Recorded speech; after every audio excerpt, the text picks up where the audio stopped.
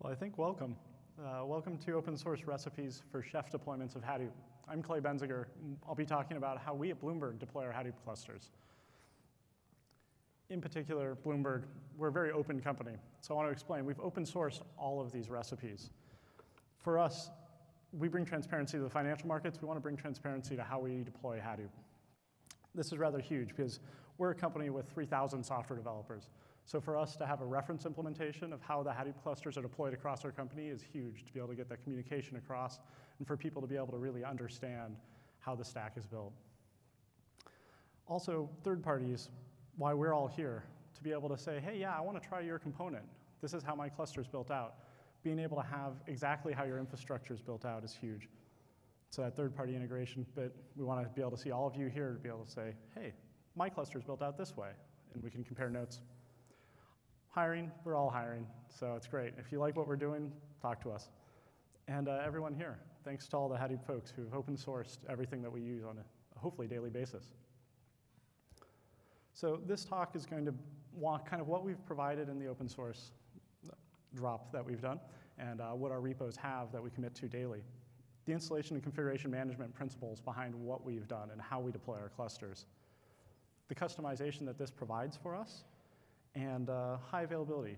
Certainly Hadoop's becoming more available, reducing single points of failure, being able to make sure that it withstands more and more Byzantine types of failures every day, and this is fantastic. But we got to talk about that and look at how the ecosystem's kind of uh, uh, gone different directions and, and how we handle that. And lastly, integration with the cloud. We run our own OpenStack systems. We are a cloud provider within the company. Um, this is huge because we also then have Hadoop. You know, thousands of computers running side by side with slightly different workloads, but otherwise really similar. So what we provide. Some open source chef recipes on GitHub. This is huge for us. Uh, GitHub, you know, we're financial. Normally financials are very quiet. For us, we've got this all on GitHub. We want to see, you know, if you see anything out there you want to recommend a change to, we've got issues, we've got commits. Please um, take a look at these. You'll notice at the bottom of the slides, bloomberg.github.io, excuse me, bloomberg.github.io slash uh, bcpc slash Hadoop. These are our OpenStack recipes as well as our Hadoop recipes. We try to focus on BigTop-based distributions. We want to be relatively vendor agnostic so that we can try the latest upstream commits as well as whatever we might be getting for support. This is uh, a rather important distinction because we don't want to be tied to one-offs here or there, but BigTop provides us as a community this how is everything actually going to fit together. Uh, uh, I got a question for can I define BigTop? Um, let me hold that to the end. I suspect we'll have a fair Q&A, but uh, otherwise, uh, the supporting infrastructure too. If you're running Hive, you definitely need a, a, database of some sort. If you're running Oozie, you need a database of some sort. That may not be a Hadoop provided component. So that supporting infrastructure, how do you deploy it? That's huge. And for us, the same deployment on VirtualBox, on OpenStack VMs, and on bare metal is really useful. We've got, again, 3,000 software engineers. We don't want to have to, to deal with, uh, with trying to be able to uh, have different stacks for different uses. Um, similarly, being able to PXE boot the machines and then actually walk through to an application deployment, this gives us the ability to to fully understand, you know, way it builds out on VirtualBox is the same way it builds out on our, our bare metal. Lastly, the composable components. Our stack supports uh, roughly nine of the Hadoop ecosystem components. We want to be able to say, hey, I want HDFS on this cluster. Maybe it's just a data lake. It sits there, it's data's stored, it's, it's kept safe. And then something else might say, hey, I want a low latency HBase cluster. We need to be able to take that HDFS, put it underneath, tune it appropriately. Same thing, stack HBase on top. So the composable components are, are rather huge. Um, actually, one last thing. I want to give you guys some, some idea about Bloomberg here.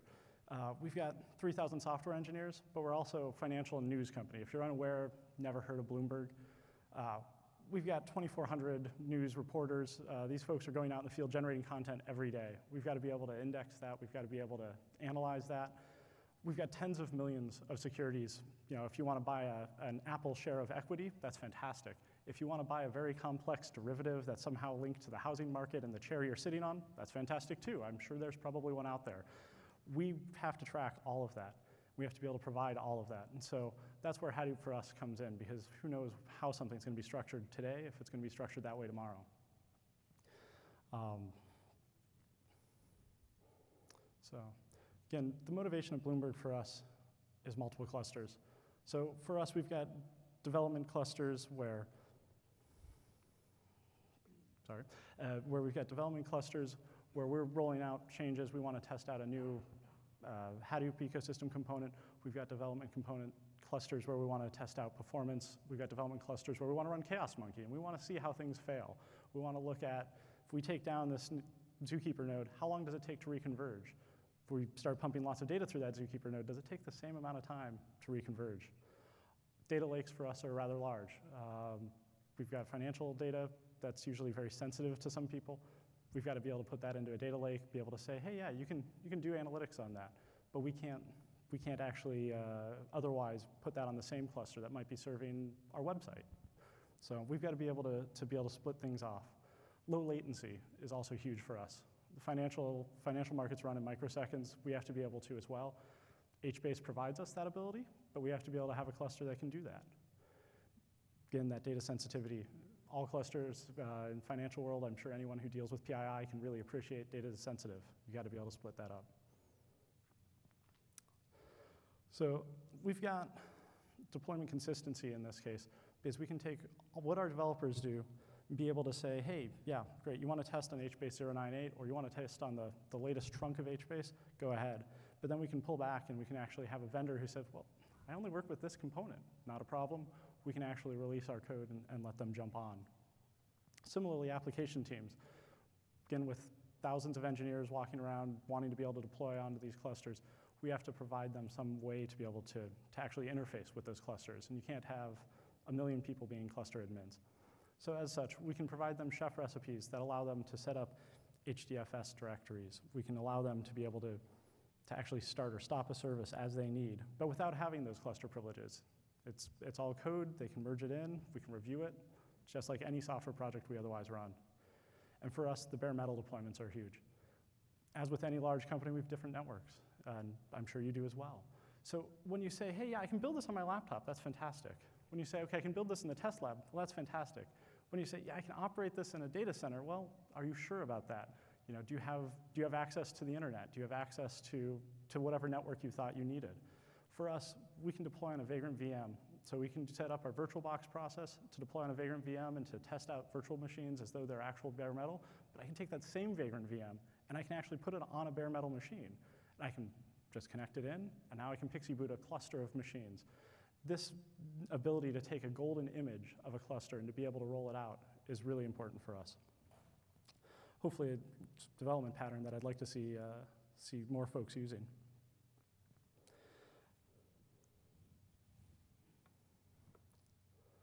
So installation configuration management is a huge topic. Uh, anyone who's gone to ChefConf or uh, any of the analogs for, for other, other technologies there's 20 plus projects now in the uh, Hadoop ecosystem.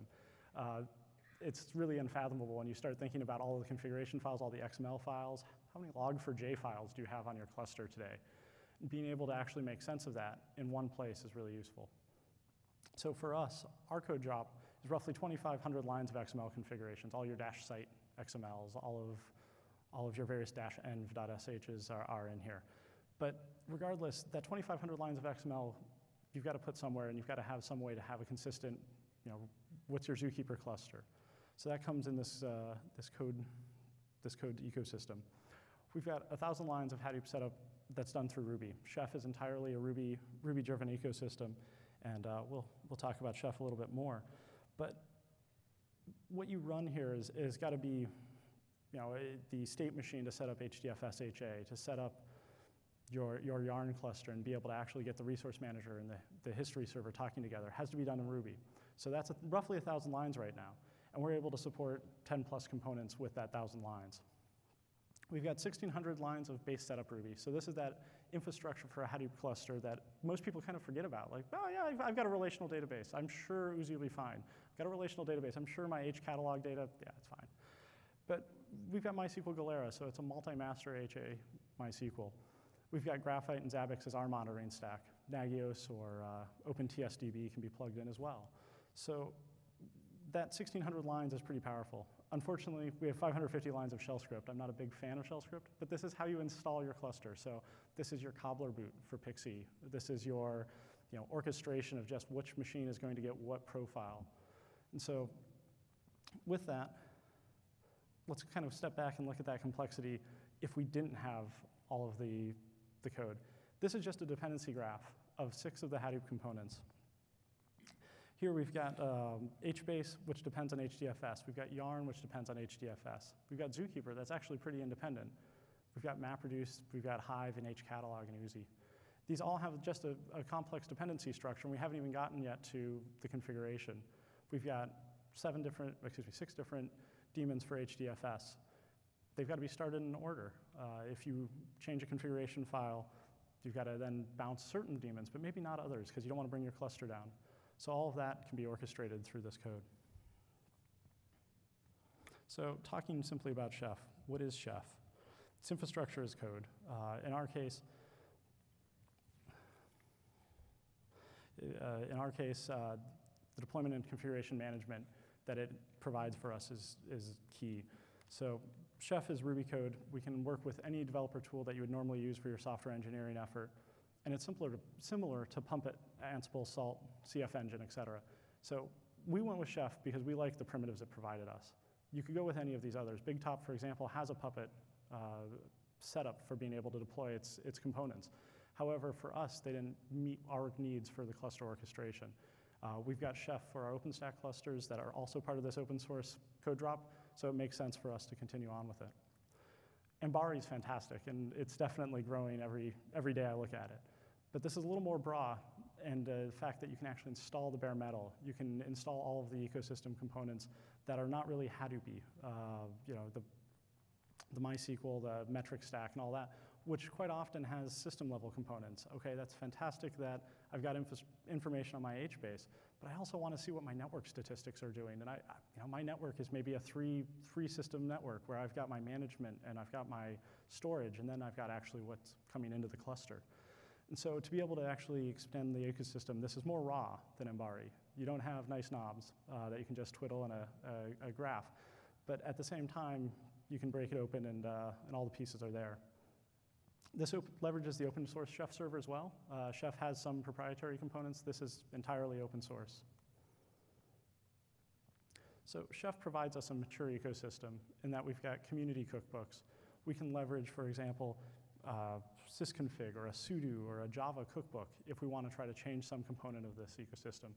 We've got Ruby gems so that we can actually leverage the entire Ruby ecosystem, such as WebHDFS or Zookeeper all of those are available in our configuration management system, which makes the configuration management system as powerful as the ecosystem very easily. We've got um, similarly raw actions that we can run, such as a directory provider or a directory provider or otherwise a, a template. And cluster orchestration features. We can actually search by nodes and say, I want to see all nodes that are HDFS uh, data nodes. I want to see all nodes that are name nodes and be able to return those so we can use that as code in, say, an XML file, or we can use that as code for making a for loop, just walking over and seeing system health. We can also search by recipes so we can figure out, okay, which machines have had the JVM upgraded to 1.7. Being able to actually look at all that in one place is, is huge. And it provides error handling. Anyone who's, who's had to take a shell script-based approach for installing their Hadoop cluster, every once in a while, oh yeah, that, that doesn't exit with non-zero. It just produces something to standard error.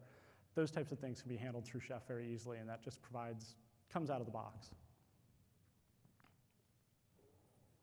So walking through some of these Chef idioms, a node definition, what does it actually look like when Chef is, is showing you what one of your, your cluster nodes is?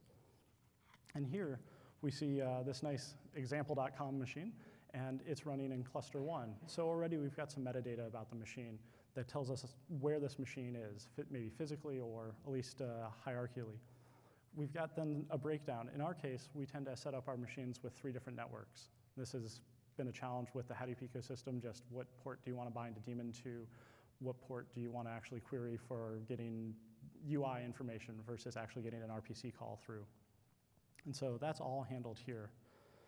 We've got uh, these discovered components, such as the IP address, which are handled by Chef's Ohai component.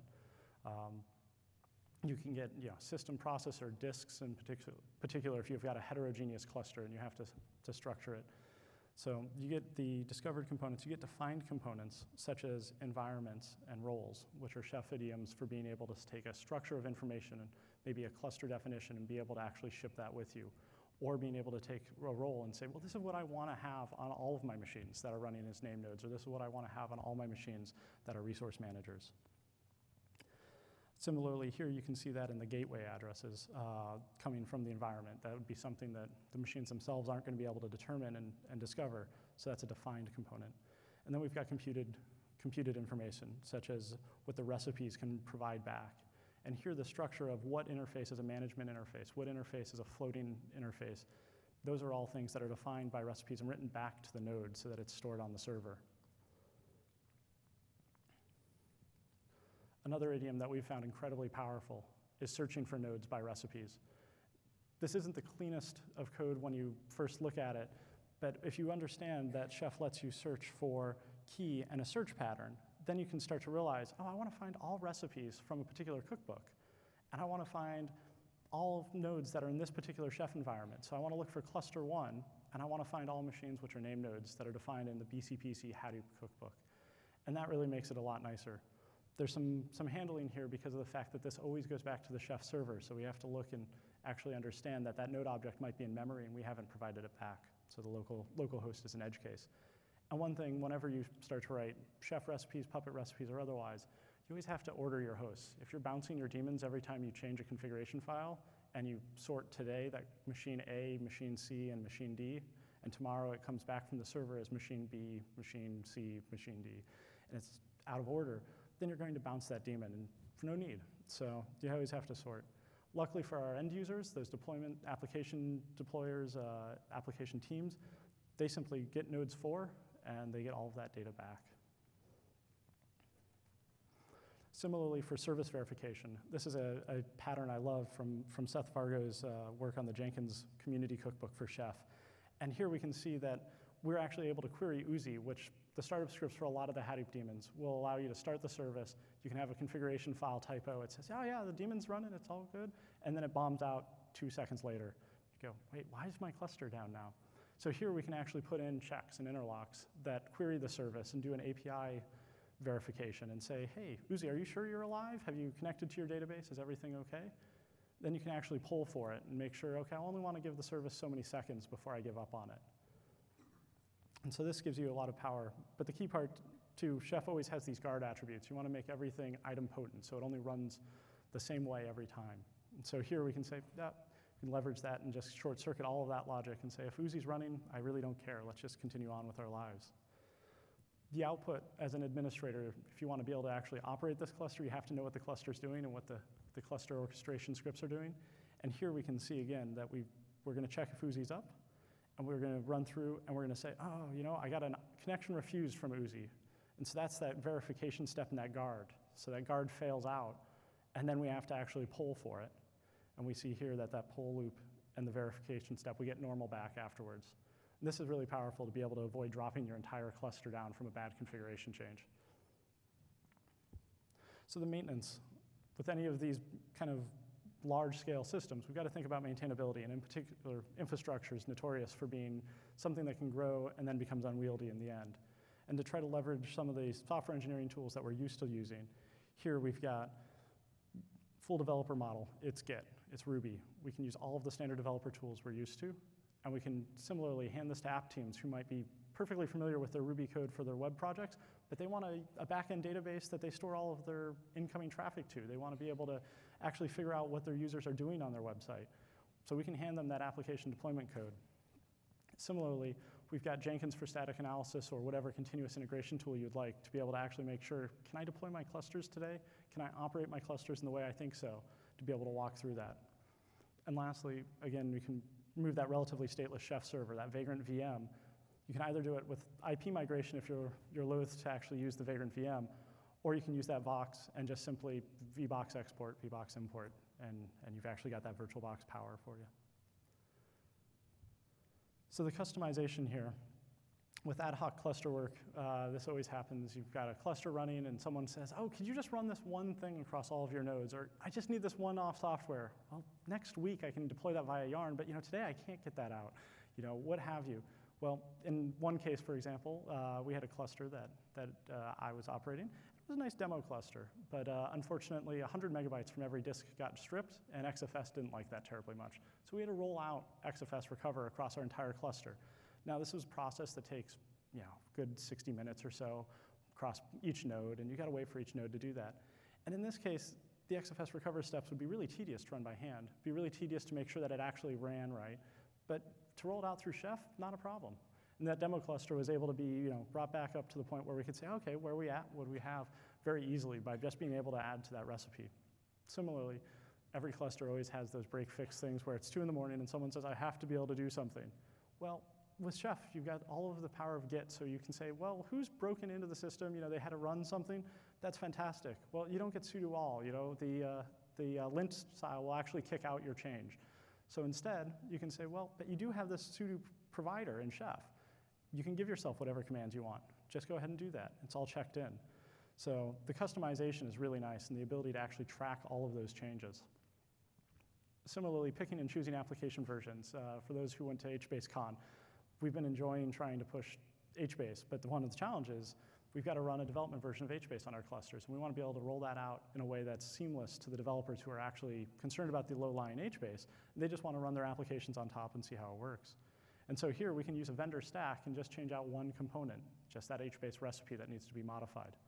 Similarly, application group deployments. So to be able to make sure that those application groups don't have to understand hey, so what are all the edge cases for creating an HDFS artifact? You know, do I have to worry if the name nodes tell me that they're, one of them's not active? We can just simply provide them a chef action. And they just say, hey, I want a directory. Oh, and by the way, I'd like that directory on HDFS, please. So that's all they have to know. Similarly, Kafka topics. If, if a team comes in and says, hey, I want a new topic in Kafka, you know, I've got a new data source or what have you, that's fine. They should probably control that. They can deploy that through Chef. HBase tables are much the same way. So all of these things can just be providers that Chef gives the application team. So next, I want to talk about high availability control points. We cover that in our stack in a number of different ways. One of them is network interfaces. You can do NIC bonding. You don't want a, a top of rack switch to take out 32 machines. You can do NIC bonding and have two top of rack switches for that particular stack of machines. Then you can also do things like virtual IPs. Maybe you've got a core service that itself is stateless, but you always have to make sure all endpoints, all consumers are hitting the same endpoint and that that endpoint changes at the same time. So we use HA proxy in our stack to be able to provide, excuse me, uh, keepalived with HA proxy usually to provide that in our stack. Similarly, on the MySQL front, you need a multi-master database, something that will allow you to actually ensure that your database nodes can go down and your, your state is consistent. In our case, we, we go with MySQL Galera. Uh, again, that, uh, that state checking recipe is very useful. If with something like MySQL Galera, if it goes down and you want to be able to figure out, well, what was the last node to go down because that's my most consistent node? Well, it's nice to have Chef be able to say, hey, look, I see the cluster's in a bad way, but you might want to go look at this node because it was the last, last modified file time. Things like that can make it really easy to be able to operate a cluster or really hard to operate a cluster. HDFS, you've got the journal nodes, you've got ZKFC, the Zookeeper fencing controller. We do all of that dance by standing up a non-HA name node and then being able to switch it to an HA name node. MapReduce, the resource manager uh, in Hortonworks recently got, uh, with 2.1, got the support for being able to do HARM. I believe Cloudera supports it, and certainly it's, uh, it's been in the code now. So that resource manager is, is available. HBase similarly, masters are, are a dime a dozen at this point and hopefully will be rolled in. And then Oozie as well, the ability with that MySQL and the virtual IPs, you can layer those two very easily and compose them to provide Oozie HA. The Hive ecosystem, similarly, you've got the history server and you've got your HCatalog, web HCatalog, excuse me.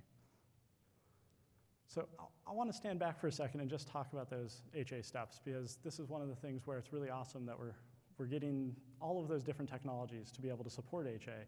But some of the state machines can be a little difficult, and being able to ensure that they get executed right by someone who's you know, been at it for 10 hours installing a bunch of machines in a data center, and then they go, oh, I just have to follow this run book. Hold on a second, it's 150 pages, and it says step one, two, three. If you do any of these out of order, I'm not quite sure what happens. Here we've got the HDFS HA steps, and uh, this, is, this is somewhat a little frightening. Uh, with Chef, again, because it's, it's software, it'll tirelessly try, and it'll figure out what state is it in, and it will be able to walk through those, those steps appropriately. Again, for us, we operate OpenStack clouds. Um, it's really fantastic. We've got all that code. Also, as part of the Chef BCPC, that's uh, where the BCPC moniker, Bloomberg Clustered Private Cloud, came from. And for us, that cloud integration is fantastic. You can get multi-tenancy, you can get a distributed file system, and you can get a scheduler. The only interesting thing is that also sounds a lot like the Hadoop ecosystem. And so for us, we do run OpenStack VMs that have the entire Hadoop stack.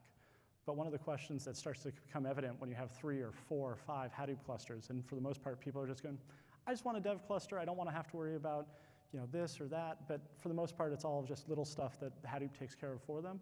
Why, aren't this, why isn't this running on the hypervisors? Why can't I have multi-tenancy provided by Hadoop? It provides multi-tenancy today. Why can't I have the, you know, the, the distributed file system be the same as my OpenStack clouds running? In our case, we use we use Ceph, but HDFS as well. You know, there's uh, HDFS is getting more performant every release. And to be able to say, okay, we've got the same distributed file system, and at this point, I now no longer need to have VMs on top running a distributed file system on top of a distributed file system. And similarly with the scheduler. The scheduler in OpenStack is going to try to provide the optimal hypervisor for that VM on some policy. Well, similarly, if you're running the capacity scheduler or fair scheduler or maybe a custom scheduler in Yarn, you have your own policy that's going to decide where that container is placed.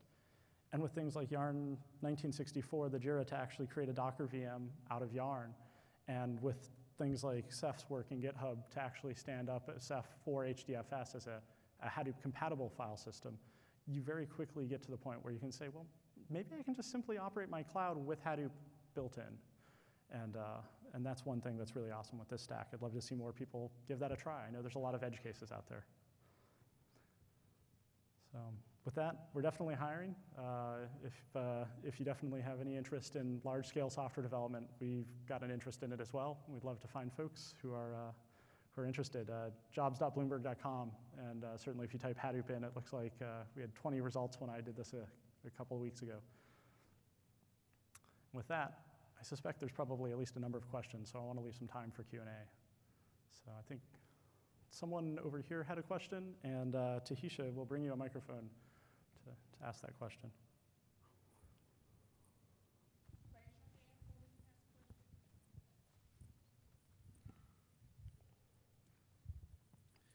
I have two questions now. Uh, Oh. One, could you just clarify the BigTop?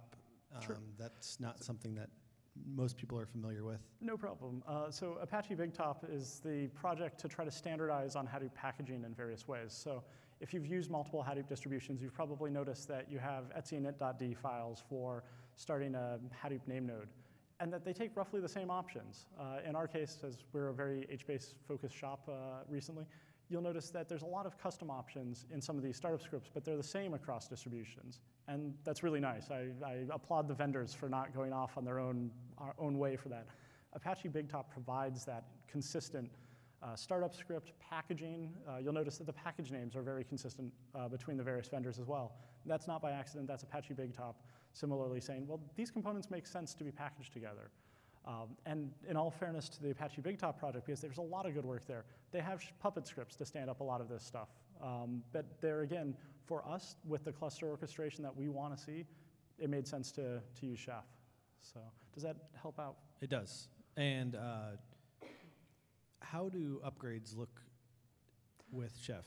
So right now, upgrades are, are something that uh, I would love to talk about. It's just not enough time before the talk.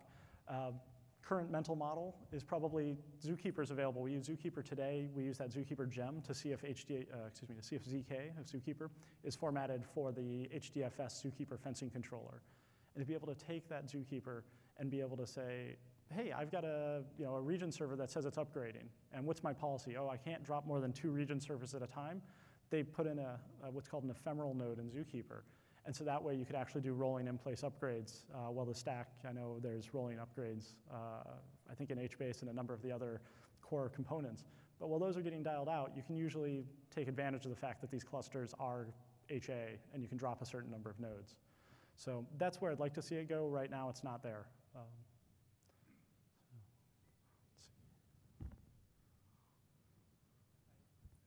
From slides, I noticed that uh, you run on Ubuntu distribution. yes, So what is the chance of running that on slightly different distributions, like CentOS? sure. For example, like apt-get versus uh, Yum. Well, so that's one of the really nice things about Chef. Uh, so Chef, it's actually a package provider, and uh, it knows, oh, hey, he's running on Ubuntu, use, use apt-get. And uh, indeed, that's a reason we didn't, we weren't able to go with Ambari. Ambari is really nice, but we run Ubuntu on our machines, so we couldn't go with it. Um, but Chef, takes care of that for you. So that packaging provider, as long as the package names are consistent, or as long as you've got the right hooks in to use the proper packaging name, it'll say, oh, I'm on an RPM-based system, I should use Yum instead. And we do mirror, uh, so those shell scripts that set up kind of the entire environment, the scripts that set up our, our mirrors do actually uh, mirror apt as well as Yum. So you can, can build it out. We've built out clusters uh, with CentOS a while ago, but uh, I, I admittedly am not quite sure where testing would be on that today. Uh, I'd love to see it. Uh, there's no reason it couldn't be pure, pure and pure OSs. Uh, from Disney, uh, I heard that, uh, I- I wonder how do you guys control the access to the Chef server? I heard uh, from some SE says that for Chef server, the only kind of account, admin account, so our SE are a little bit scared of giving us any access to the Chef server, which cause troubles for us to have quick deployment of our service and product into production. Sure. Uh, so uh, the, definitely with the Chef server, there, the security model, the open source Chef server, the security model is relatively flat. And the way our recipes work, you do have to give a node an admin privilege at some point to be able to write to data bags that store things like passwords and, and other configuration that needs to be persisted and, and not changed across the cluster. So there is a risk that the Chef server is a uh, security, uh, a very good security vector if someone wanted to compromise a cluster. Uh, there are ways that you can mitigate it, at least on the Chef server, such as using encrypted data bags. And uh, Chef Vault is a, uh, a cookbook that I'd like to see integrated right now. We've got encrypted data bag support, but we don't have Chef Vault support. Ideally, Chef Vault would allow you to say, okay, here are the different keys. So I could hand out keys to my cluster nodes that need to know all of the database passwords for that MySQL Galera. But machines that are developer desktops, so I want to install all of the all the configurations so they know where an HDFS is, but they don't have any need to know what the uh, MySQL passwords are. Wouldn't have the pass wouldn't have the ability to decrypt those passwords, and it would just be meaningless meaningless data for them. So that way we can use the open source Chef server and still get multi-tiered security. Uh, we do the cluster orchestration scripts we have also do pull the admin privileges back from the nodes when they don't need it. So that way, if someone were to compromise a node, they could still view the data, but they wouldn't be able to modify it. I- I got a quick question. Sure. Here. I hear you. I just don't see you. So thank, thank you. There you go. Yeah. Can you please talk a little bit more about the, how do you guys use the Ceph in Bloomberg? You know? Yeah, so uh, the OpenStack community, uh, or the OpenStack framework, needs a distributed file system underneath, just like we, for Hadoop, need a, a distributed file system underneath. So Ceph provides that in the OpenStack world. It's Okay, so um, you are using Ceph for the cloud, cloud stuff, not for MapReduce or Hadoop? No, so we've, we've done tests where we will use Ceph. Uh, so Ceph, um, uh, Inktank, who was recently acquired by Red Hat, uh, provides Hadoop bindings. Uh, so it's uh, a Java to C layer, uh, Ceph being written in C++. And those Java bindings actually allow you to do HDFS calls into Ceph. So you can say, hey, I want to open this block, and the API is the exact same. Or excuse me, I want to open this file, and the API is the exact same. Or I want to write this file, and the API is the exact same. But instead of writing to HDFS, you're writing to Ceph. And Okay, this so provides you are able to run MapReduce job on, on Ceph? Yeah, so running MapReduce jobs works well. Some of the challenges are um, HDFS has some awesome tunings recently. Uh, things like uh, locality, um, local caching, uh, things like uh, a lot of folks, it sounds like, can sometimes modify their block mapper to try to do locality placement in interesting ways that, that suits their needs. With Ceph, it's a completely different stack. So trying to rationalize between the two is difficult. But for the cloud integration, it makes a lot of sense. Um, Swift is another fi- uh, distributed file system that provides a Hadoop HDFS binding, but Swift is all, as I understand it, um, RESTful. So the API calls have a fairly high overhead, and uh, it's not as, uh, not as suitable for, for MapReduce. So that's at least why Ceph seems, seems really clean in that regard. You have another question? Thank you. Um, could you elaborate on the use of Kafka in your stack? Uh, yeah, so um, you know we really like the model that, that LinkedIn's been been showing folks with Kafka to be able to use it for data ingestion, and uh, so for us to be able to have it with the Hadoop Hadoop stack makes good sense.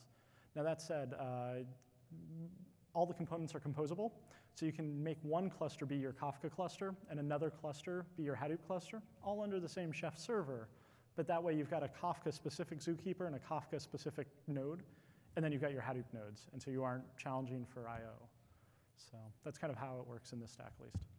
Uh, one other. Um, so no Ambari provides provisioning.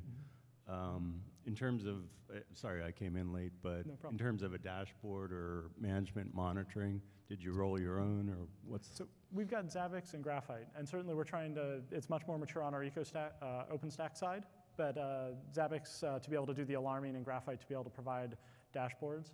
Uh, Chef itself, otherwise, just to be able to make sure that daemons stay up. So Chef is running on a periodic basis. Certainly, it's not enough that if you had something that's for whatever reason caused half of your cluster to just abort on, on some of its nodes, uh, but it'll ensure that if something has a, a you know, a out of, out of heap or something, it'll keep running and, and be brought back up. Um, the, the dashboard that Ambari provides is really awesome. What I'd love to see is the chef recipes actually call the REST, uh, REST interfaces into Ambari, and for Ambari to be able to query the chef server to figure out where nodes are running. We'll see if someday that's, uh, that's integrated.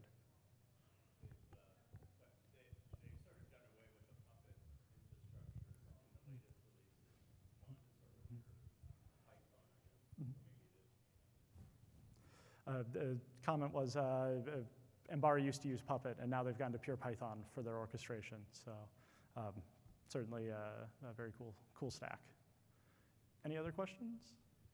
Have you used Vagrant or Salt to do any kind of uh, Hadoop deployments? So this actually uses Vagrant for the Chef server uh, and for the, the rollout. So again, the, the process of being able to deploy this for kind of development purposes is on VirtualBox. So you can take a laptop with 32 gigs of RAM and you can run the automated install script that actually brings up an entire cluster by taking a Vagrant box, because we need Ubuntu at some point. We'd like to do that without human intervention. So you can take an open source Vagrant box with Ubuntu and install that as your bootstrap node. You can then put Chef and Cobbler, Cobbler being the PXE boot part, and Chef being the, uh, of course, the, the configuration management part. And then you can bring up three VirtualBox VMs that have a PXE boot ROM and nothing else. The hard disks are all blank, and you can actually run some shell scripts on that bootstrap node, that Vagrant node, to bring them up. And the really key, very useful pattern for being able to deploy kind of a golden image of a cluster is when that Vagrant box is determined to be satisfactory for a cluster, you can then actually make that Vagrant box go back to being a box, just a single tarballed file, and be able to actually copy that onto a cluster. Change the networking from host internal VirtualBox networks to being actually a, another member on the physical network, and it will stand up bare metal machines. And so we, we use Vagrant pretty heavily in the stack uh, for that. Uh, Salt, uh, Salt, Puppet, CFEngine, they're all fantastic configuration management tools. Just Chef had the, the right mind share for us, and it, it worked out well. I think that's. Yeah, uh, question, last question. Oh, sorry. Yeah. Tahisha, is everything? Here. One more? Okay. Is it uh, RPM based install or repo? Uh, could you ask that one more time? Is it, uh, no, are you installing using the RPMs or repo based install? Of repo based or something else based of what? R- repo, like, you know, let, let's say you want to, you can set up a repo, right? Um, so Yeah. yeah, so we've got the uh, chef, the Git repository. My apologies, I'm just not quite hearing. The speakers aren't great on the podium. yeah. Yeah. How exactly you're getting the installer packages, you know? Th- That's my question, like, you know, uh, do you have all the RPMs? Oh, um, so yeah, the chef will, will translate. Uh, so if you run it on a, a CentOS-based system, uh, sorry, that was asked a little earlier. Uh, if you run it on a CentOS or uh, Red Hat uh, enterprise Linux-based system, Chef will actually do the RPM-based install instead of a Debian depackage-based install. So that means you are uh, downloading all the RPMs and keeping it local? So yeah, we set up an apt mirror, so that way that Vagrant box, when we bundle it up, has everything it needs. So we, we have all the binaries for the gems, for the Chef packages itself, and uh, for the uh, uh, Hadoop distribution as well. And so all of that's served, served by that Vagrant VM. It's just a, a common pattern in enterprises. I've seen few enterprises willingly pull stuff from the internet uh, in a production mode, so it makes sense to, to have that be part of that golden image. Okay, uh, one more question. Like, you know, how frequently uh, you upgrade the uh, recipes? Like, you know, so do you do only for the major releases or? The- These are under active development. Uh, If you look at the change, change commit logs, you'll definitely see uh, daily, we, we are touching this. Um, And so, yeah, we welcome pull requests, and thank you.